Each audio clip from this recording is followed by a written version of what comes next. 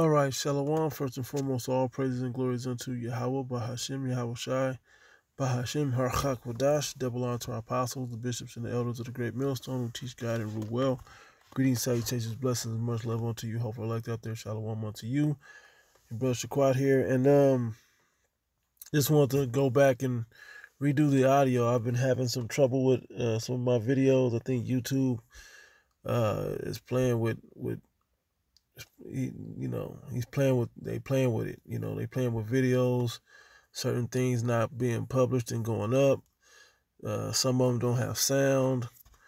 I think it was my phone as far as the sound goes, but but I mean YouTube's been doing this thing as well, taking stuff down, muting videos. You know, if, if something's in the background that instead of taking the video down, they'll just mute the whole thing. Okay, I've seen them do as well. And so um I'm gonna just try to redo the audio. Hopefully um everything is uh I'll try to be a little extra salty, you know, as far as uh saying some of these key phrase buzzwords in here. But um this video is basically about the name I have was hypothesis, right? Uh, we we know the ending, all right, and then in this I did get the the uh, the uh, the definition. So uh, I'll just break it down as I as I see the scriptures pop up. All right. Yeah. This is verse uh, 9, 1 Corinthians 13 and 9. For we know in part and we prophesy in part. Okay, so we prophesy in part. Okay. That's how we that's how we we understand. We don't get to know all the all the little details, but we can see the ending of this thing coming to a situation. All right. And I'm trying to, I had some examples. Let's see. All right. This is hypothesized, but I think it's, yeah, hypothesis is the word I want. It says a sup, supposition or proposed explanation made on the basis of limited evidence as a starting point for further investigation and we're measuring the times. Okay, that's the investigation. Are these the ending times? Is this the time? So we're we're hypothesizing uh, of these times. We're trying to measure the time to see if this is the end. How do we measure the time by the prophecies? Okay, so we're measuring the time by the prophecies. All right, as things are coming to pass, we're watching these things connect. You know, we're watching World War Three or wars and rumors of wars. Okay, we're watching watching earthquakes in diverse places. All right, a lot of different things are happening in the world, and we're watching it come to pass. Okay, there's there's signs in the in the heavens and in, in, in the moon. I believe we just had something last week. Okay. Yeah, it was um the uh, the eclipse, the solar eclipse, right, a week or so ago. All right all these different things are, are, helping us measure the time.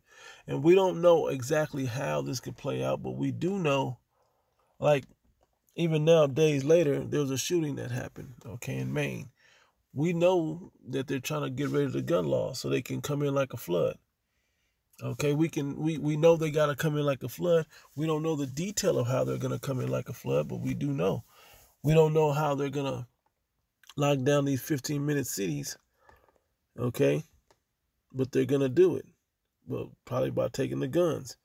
All right, we can start putting these scenarios together. And I used a scenario in this original video, but the spirit was moving. And if it comes to mind, I'll try to repeat it. All right. Let's see what we got. ah, yeah, another. Oh, wait. If it moves up right here. Okay, another one says a proposition made as a basis for reasoning without any assumption of its truth. Okay, a proposition made as a basis for reasoning. Okay, and what's our basis for reasoning? These prophecies. Okay, without any assumption of truth. And we know faith is the substance of things hoped for, the evidence of things not seen. Okay, so we don't know what's going to be true, but we do believe what the prophecy says, okay, through faith. We believe that the gift of faith was given unto us, thus saith the scriptures, and and and from it we can measure the times and, and, and hypothesize how how this is going to go down in prophecy. Okay, hypothesize what's going to bring the MOTB. Hypothesize when these lights, these little lights we see in the sky, are going to become big lights, and and you know, and and and how shall the sky gets dimension opens up or whatever the case may be, however you need to hear it, okay, and and and I come down, all right? In World War Three, the destruction of that, and I mean all of these situations, the MOTB, you know, I mean these disasters and trying to now they got to find where everybody's at with Amber Alert. Now they want to they want to um all these people that I think this is what I had was uh the people coming in at the border okay? Military age men coming in at the border. All right, that can easily be a, situ- a scenario where they, uh, as they come in, they go, well, we got to find out who everybody is, and so you either find out or you get kicked off the grid. You, you, how do you find out? You, you, you, you take that MARK, the implant. All right, because you're the you're the other other group, and that's why I can't say it because I, I did mention the um Gaza and all of that conflict thing that's going on over there, that war that's going on, okay? So let's see what else we got. Yep, the silent invasion. Back it up. Right here, the silent invasion. You know, this was a, all military age men coming in. They're just coming in. They're letting everybody in. And I've seen, I believe it was Vice. I saw a video that had a similar thing they were talking about. How people were just able to come on in. All right, like a Trojan horse. Wow. Yeah, yeah, this is what it said. The silent invasion coach said is being committed primarily by single military age men between the ages of 17 and 45 who are illegally entering the U.S. They, they're wearing camouflage and carrying backpacks, according to video captured by cameras placed throughout the county, viewed by the center square uh, which is the name who wrote the article. Many are armed and dangerous. Look, this could be propaganda too. You know, many are armed and dangerous. Okay, but but when you look at these pictures, though, let's see.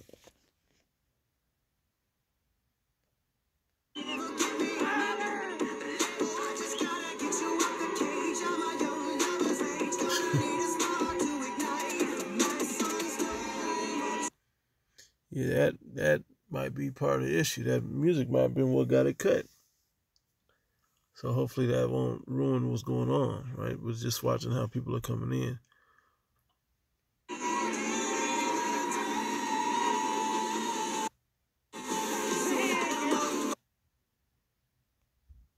And look, you look at this, and it, it do look like all military age men.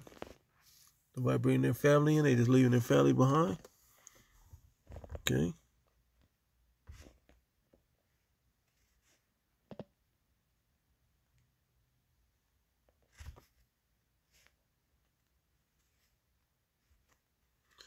We can get back to that part.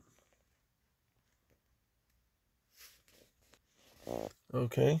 Uh, so before I read this, um, I, I couldn't find it, and even still after I uploaded the original video, I was looking for it, um, there was a, a speech that George W. Bush made on June the 6th, uh, 2006. Okay, 2006. And he, um, and he was like out outside somewhere outdoors. I feel like he was on a tarmac or something somewhere.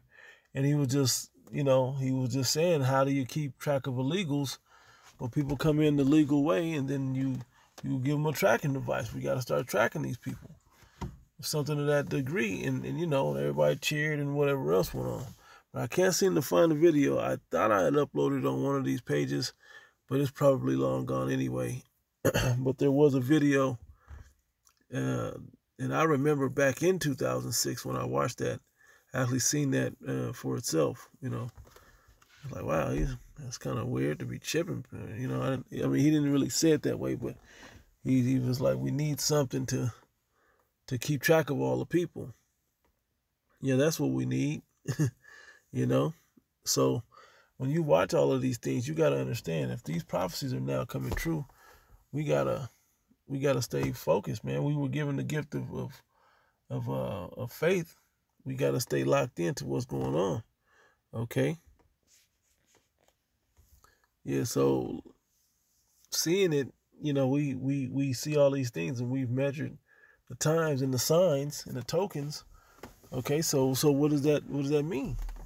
Okay, we we know what the ending is. So if we know what the ending is, uh, the financial collapse according to uh, first um, Ecclesiastes the 12th chapter. Okay, well if we we see that that scenario is going to play out, what's going on with these banks? How many banks are somebody just sold 140 million out of Chase? Oh wow, okay, all right. So you see all of these things happening, and, and but you can see the financial collapse coming. Okay, you can see these these shopping malls and these um uh, strip malls on the corners and in the, in the, you know certain areas are not up no more. It's just people not not buying it. You see these jakes out there stealing and looting, and they can't keep up. You see places closing because they're going. They can't persecute. They're not allowing them to persecute. All right. And this was just a quick video that I was doing. Okay. Um, you know, basically just just some we, we know in part, we prophesy in part. But if you have faith, you gotta believe that that some people gonna count slackness. But I'll just read it starting here, uh, Second Peter chapter two, verse three. Excuse me, chapter three, verse nine. Says the Lord Yahweh is not slack concerning His promise, as some men count slackness we, we, we know the ending is going to come to pass. We can hypothesize what's going on in between, all the details. Okay, but uh, how it's going to play out, but we know the ending's coming because we have faith, right? It says, as some men count slackness, but is long suffering to usward, not willing that any should perish, but that all should come to repentance. Right? There would be no flesh left to save if it wasn't coming sooner than later. All right, it says, but the day of the Lord uh, will come as a thief in the night, in which the heavens shall pass away with a great noise. Okay, how will the heavens pass away with a great noise? In World War Three, we put the, the precepts together. Um, um, Habakkuk, I mean Joel, right? We start putting these things together. Joel the third chapter, we're like, oh, okay. Joel the second chapter, oh, okay. This, the, oh, okay, Revelation, oh, okay, I see them, two, two million, thousand, thousand missiles, and and then they're describing the warheads, and you know, you start seeing all of these things, and now it makes sense. The glittering spear, okay, uh, no, noisome pestilence. You start putting all this stuff together, and you can see it. Okay, we know what the ending is going to be. The second Esdras, 15th and 16th chapter, we can see that these things are playing out. All right. It says, um, so we know that he's gonna make this thing come to pass. We know in part, we prophesy in part. We don't know the detail. We just know that it's gonna come to pass. But we can see that as it's playing out, this is a good a good movie. you know, a good scenario, a balanced scenario of, of how this is gonna play out. Looks like impending doom, but there's a miracle way out. Hey, the Heavenly Father writes so so beautifully, right? It says, um, um, where to go? It goes, in which the heavens shall pass away with the, um, verse 10 again. It says, But the day of the Lord will come as a thief in the night, in which the heavens shall pass away with a great noise, and the elements shall melt with fervent heat. The earth also and the works there are, are that are therein shall be burned up. Seeing that all these things shall be dissolved, what manner of persons ought ye to be in all holy conversation and godliness, looking for and hastening unto the coming of the day of the Lord? If you got faith to see it, you got to have the mind to, to, to, to be the part. Okay, if you was given a gift to see this thing, if you're called to see it, you gotta get play the part, man. You gotta be the part. All right. It says, uh, wherein the heavens being on fire shall be dissolved, and the elements shall melt with fervent heat. Nevertheless, we, according to his promise, look for new heavens and new earth wherein dwelleth righteousness. We see that because we also see um, men sighing and crying for all the abominations done in the midst thereof. We also see Second Peter, the second chapter, where it was like a vexed righteous lot. Okay, we're agitated, spiritually agitated. Okay, just like Lot was in these times. Okay, which uh, Sodom and Gomorrah, we see that. We see Sodom and Egypt. We see that. Okay, so I didn't want to make this longer than the original video, really, but I kind of want to give a, another explanation of, of the same topic, you know, because the spirit was moving and it was a few days before. Things have happened uh, since. So I just kind of, uh, you know, picked it up and went from where under the same sentiment of the last video, which is we know in part, we prophesy in part. We can we can make a hypothesis on things, okay? Because we know the ending. All right. So with that, Lord willing, this was edifying. I give all praises and glories unto Yahweh by Hashem Yahushai by Hashem Rachak that belong to our apostles, the bishops, and the elders of the great millstone. And greetings, salutations, blessings, and much love unto you, hopefully elect out there. Till the next one. Shalom.